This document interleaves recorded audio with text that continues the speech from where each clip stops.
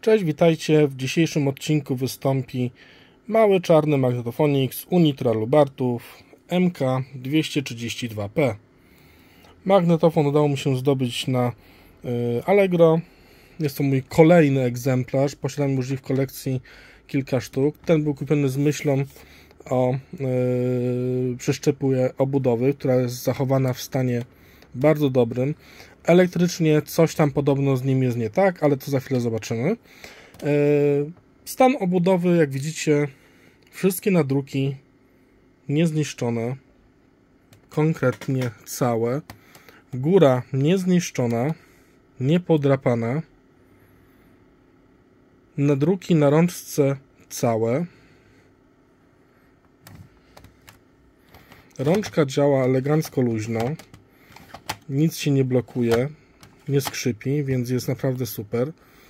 Z boku magnetofonu mamy wejście na zasilanie, klasyczna ósemka, wyjście na, do podłączenia adaptera, mikrofonu, radia, wzmacniacza.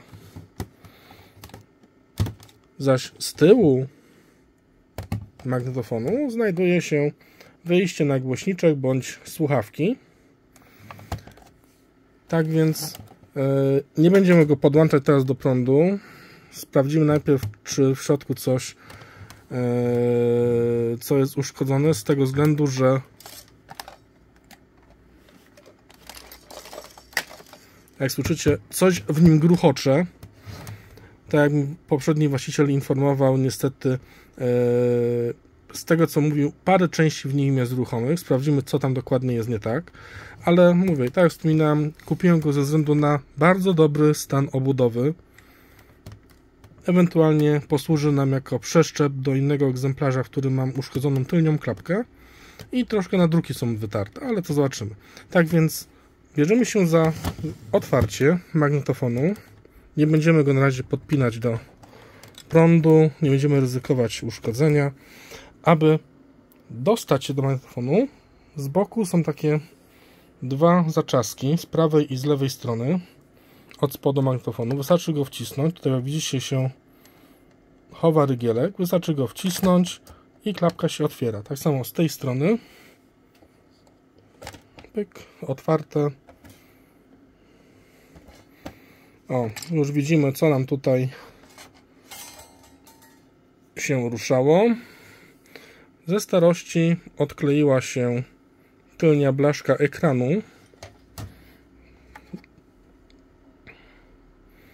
Trzeba będzie ją przykleić. Co ciekawe, magnetofon posiada oryginalną rurkę do baterii sobie jeszcze tutaj w kieszonce. Naprawdę super. Rzadko kiedy się to spotyka. Komora baterii jest czysta, nie jest zniszczona, nie jest wycieknięta. O, ciekawość mnie tutaj zżera, bo widzimy co? Plombę gwarancyjną. Czyli magnetofon nigdy wcześniej nie był jeszcze przez nikogo otwierany. Tak więc udało się zdobyć egzemplarz, który po prostu ma jeszcze niezłamaną plombę gwarancyjną. Super, będzie można do niego zajrzeć, czyli wiemy, że nikt przede mną już do niego nie zaglądał. Mechanizm magnetofonu. Widzimy, że pasek jeszcze jest oryginalny, nieskruszany. Też widzę, że luźno chodzi, tak więc ma lekkie luzy. Pytanie, czy rolka jest cała. Że roleczka jest cała, ale tak to się mówi, już ją ze starości pokrywa biały nalot. No niestety rolkę trzeba będzie dla świętego spokoju po prostu wymienić. Mamy zestawy naprawcze do tych magnetofonów kupione. Więc tą roleczką się tutaj zajmiemy. Płytka elektroniki. Mała, prosta. Głośniczek tonsila. Transformator.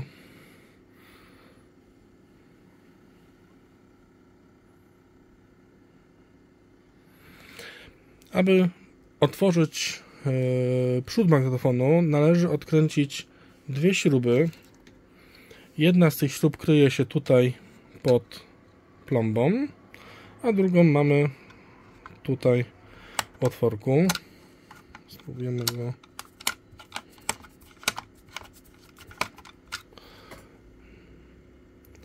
siedzi w środku, czy jest odkręcona.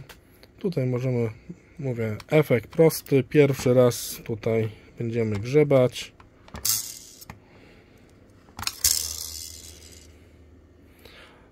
Twarda ta plomba.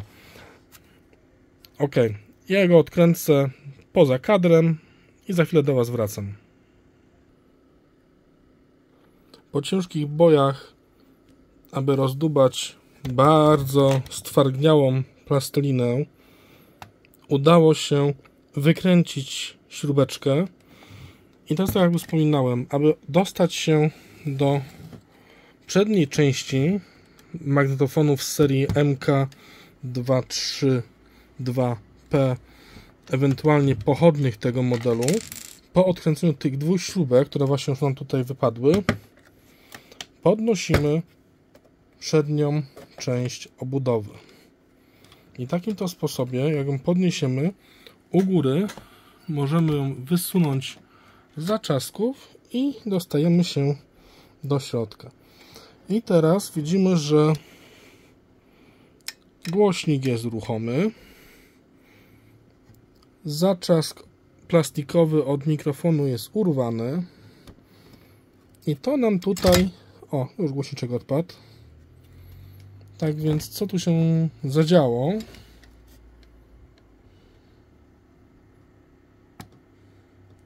Z tego co widzę, połamały się zaczaski od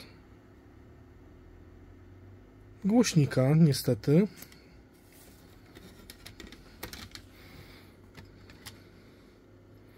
Głośniczek jest cały.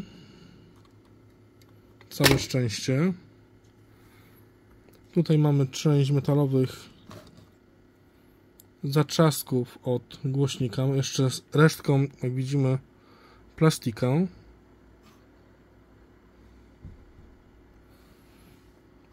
Spróbujemy to naprawić, może się uda. Kolejny z kawałkiem plastiku. Tutaj mamy kolejny, już bez plastiku.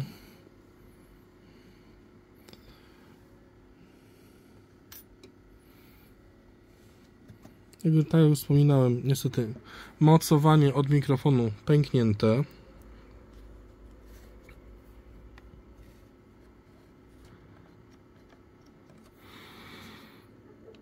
Trzeba to będzie skleić. Resztę tutaj możemy znaleźć. O proszę.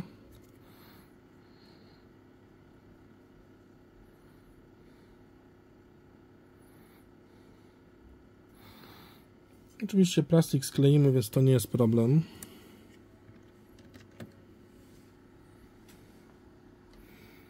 Pytanie zasadnicze, gdzie podziała się jeszcze jedna metalowa skówka od głośniczka, żeby w przypadku włączenia magnetofonu nie zrobiła nam, nam psikusa i nie zrobiło nam się zwarcie.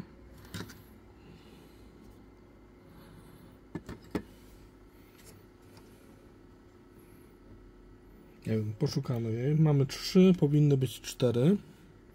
Ok, co my tu widzimy? U góry potencjometry regulacji barwy tonu oraz głosu. Listwa, odczyt, zapis, gniazdko wyjściowe.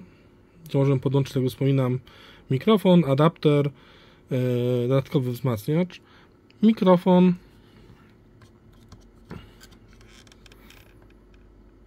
tu się znajduje, z tego co pamiętam, według dokumentacji, układ e, wzmacniacza mikrofonowego plus e, część odpowiedzialna za regulację barwy dźwięku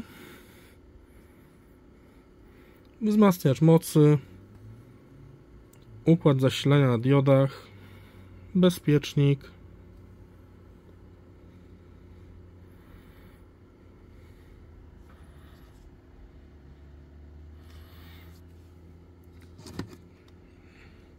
głośniczek Stonsila GD10 na 1,5 na 8 1,5 watowy 8 ohmowy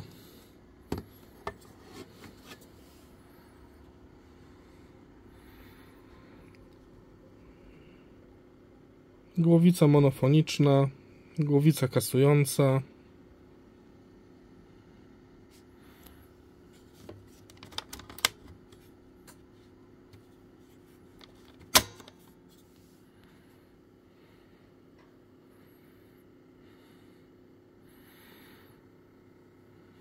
Tak się prezentuje magnetofon od przodu. To co? Spróbujemy go uruchomić, zobaczymy czy zadziała. Tak więc za chwilę do Was wracam, podłączę zasilanie i zobaczymy czy magnetofon chodzi. Już jesteśmy po podłączeniu zasilania. W magnetofonie niestety był uszkodzony bezpiecznik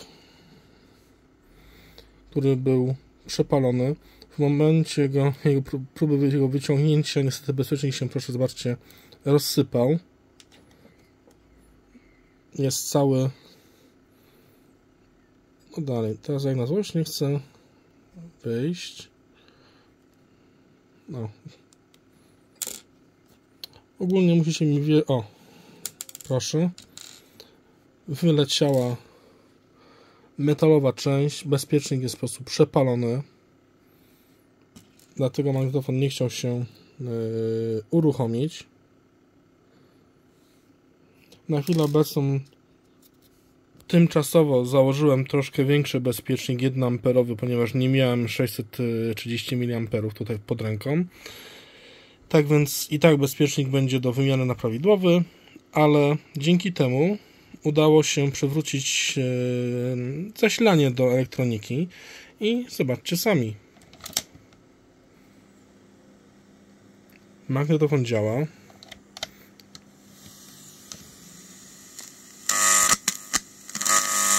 Słychać sprzężenie, czyli elektronika wydaje się być sprawna w tym magnetofonie. To co? Spróbujemy uruchomić magnetofon z kasetą. Mam taką taśmę, jest dosyć stara. Nagrana jeszcze na jakiejś starszej AIWie, z tego co pamiętam. Yy, trudno tutaj wcisnąć teraz, żeby... O.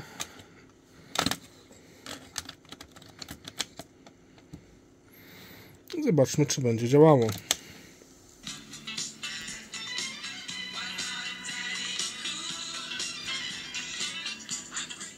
Jak widzimy, magnetofon odtwarza. Chwilę obecną troszkę przyciszyłem, żeby nie było, że YouTube zablokuje nagranie. Tak więc udało się uruchomić magnetofon, czyli wiemy, że elektronika jest sprawna.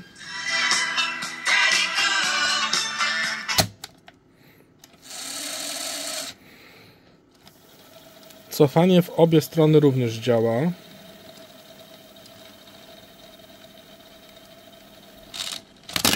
No.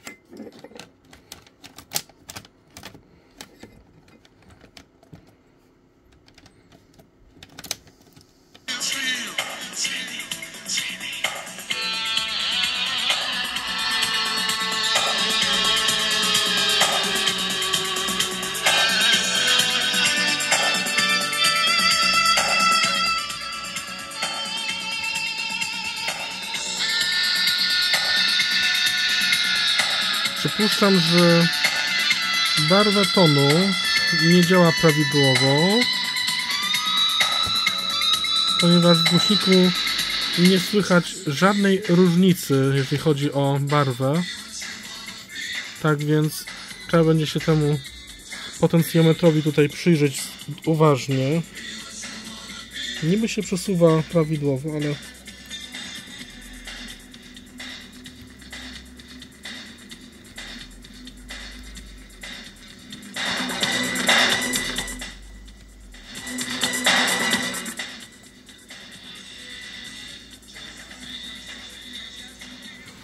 Tak więc wiemy, że magnetofon działa. Odczytuje kasety. Elektronika jest sprawna. Rolka, co dziwne, oryginalna, jeszcze nie jest popękana, więc na chwilę obecną ją zostawimy, ale mówię, mamy już zakupione komplety naprawcze e, do tych mechanizmów, e, zarówno dużą zębatkę, jak i trybik na koło zamachowe, więc tutaj nie ma z tym problemów. Są dostępne, można kupić zamienniki już w tej chwili na chociażby Allegro, Elixie, więc nie będzie tutaj problemu, jeżeli chodzi o wymianę tej, tej, tej zębatki. Oczywiście wymienimy pasek napędowy na nowy, bo on ma takie jakieś lekkie luzy, e, żeby przypadkiem z moment nie sparciał i nam nie przyciągał taśmy. Trzeba będzie przyjrzeć się dokładnie temu potencjometrowi tutaj i okolicznych tutaj jego elementów, czemu regulacja barwy nie chce działać. Musimy naprawić plastik, który tutaj niestety popękał i mikrofon odpadł. Musimy założyć oryginalny mikro, yy, bezpiecznik 630 mA. No i co najważniejsze, zamocować ten głośnik tej obudowie.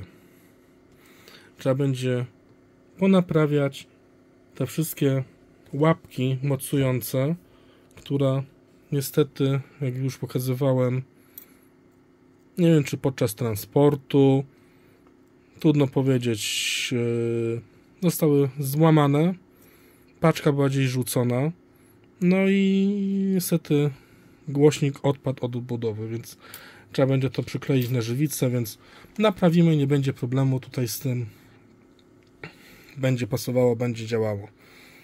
Tak więc skręcam magnetofon i zaraz wracam do podsumowania.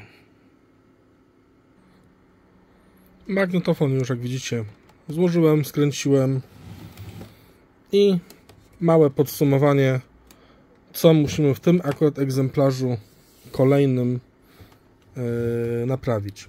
Tak więc w pierwsze co jak widzieliście się rzuca w oczy naprawa mocowań głośnika. Niestety wszystkie cztery łapki e, mocujące głośnik zostały urwane. Trzeba będzie e, posklejać je, no i założyć metalowe takie blaszki mocujące na te plastikowe bolce i będzie głośnik zamocowany. Do wymiany rolka E, trybik na kole zamachowym, jak i trybik ten żółty, który często uszkadza się w tych magnetofonach. On już niestety ma swoje lata, jak widać. Jest żółty. Lada moment on może się niestety skruszać i efekt będzie taki, że magnetofon będzie przeskakiwał i napęd na rolkę napędową taśmę przestanie działać. Do wymiany mamy w nim jeszcze e, pasek napędowy. Mimo, że magnetofon odtwarza, ale e, ma już swoje lata. Widać, że jest troszkę rozciągnięty, więc dla świętego spokoju są to grosze. Prawdopodobnie 2 zł, 3 zł za pasek napędowy do tego akurat modelu. E, musimy, co najważniejsze, wymienić bezpiecznik tej chwili jest założony 1 amperowy, powinien być 630 mA, więc założymy oryginalny bezpiecznik, taki jaki powinien być e, ze specyfikacją. E, co jeszcze? Do naprawy mamy mocowanie mikrofonu. Widzieliście, cały plastik został popękany. Nie wiem, czy to podczas transportu, czy po prostu z wiekiem nam ten plastik pękł. Więc skleję to i, i będzie wszystko ok w tym momencie. No i ostatnią rzeczą, jaką nam zostało, trzeba będzie sprawdzić, czemu nie chce działać e, regulacja barwy tutaj w tym magnefonie. Mówię, próbowałem, nie widziałem różnicy e, podczas odtwarzania kasety, więc mimo, że potencjometr działa, chodzi ładnie, czuć miejsce, tutaj mamy poszło środek, czuć to nawet że jest y, w potencjometrze specjalnie to miejsce tam zaznaczone mechanicznie, ale niestety, czy to w jednym skrajnym położeniu, czy w drugim, barwa dźwięku jest taka sama. No i co ważne, potencjometry nie trzeszczą, więc to jest też super, że nie trzeba będzie ich rozmontowywać. Tak więc magnetofon leci na półkę do poczekalni. Zamówię brakujące potrzebne części. To, co już mam, będzie można niebawem założyć. Trybiki są dostępne, bezpieczniki mam. Eee, jedyne, czego nie mam, to w tym momencie gumki napędowej do tego magnetofonu. Trzeba gumkę domówię. Eee, no i magnetofon naprawdę w stanie dosłownie bardzo dobrym, mimo że w obudowie przedniej są urwane zamocowania od głośnika, ale to się da naprawić, więc nie ma tutaj z tym najmniejszego problemu. Tak więc dziękuję za uwagę. Zapraszam na kolejne odcinki na kanale, do subskrypcji kanału. Do zobaczenia.